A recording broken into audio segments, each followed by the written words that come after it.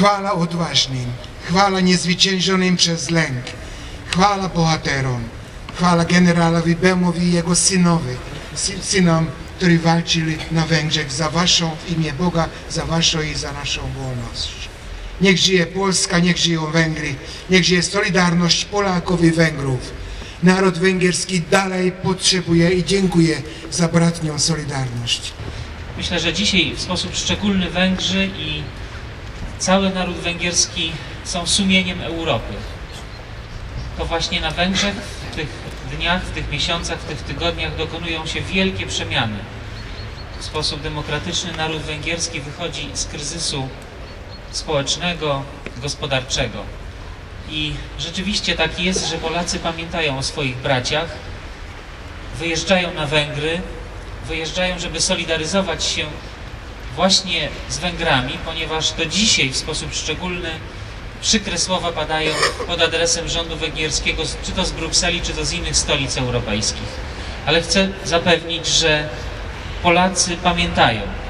Pamiętamy o tym, że wtedy, kiedy nawała bolszewicka stała pod Warszawą w 20 roku, w sierpniu 20 roku, to właśnie z Węgier, tylko i wyłącznie z Węgier, na dworzec w Sochaczewie pod Warszawą przyjeżdżały pociągi z amunicją, z pomocą, z materiałami. I to dzięki braciom Węgrom, którzy na rozkaz swojego rządu zabezpieczyli wszystkie swoje zapasy wojenne i przekazali całą swoją produkcję Polsce. To właśnie dzięki tej pomocy węgierskiej mógł zdarzyć się cud nad Wisłą.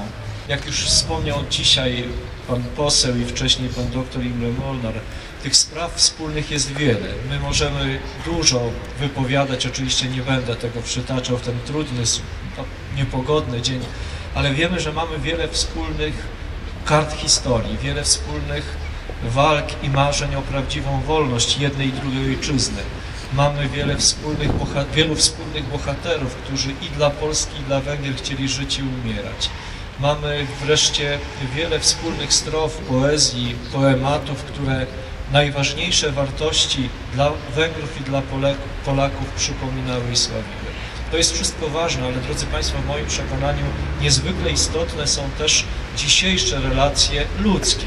Prócz tych dyplomatycznych, tych oficjalnych, są ludzkie relacje, takie, które sprawiają, że Polak i Węgier, Polka i Węgierka w dobrych rozmowach, oczywiście Polak i Węgierka też może być i, i Polka z Węgrem, to też możliwe relacje, proszę Państwa, ale w tych bezpośrednich, przyjacielskich rozmowach, spotkaniach, relacjach utrwala się przyjaźń.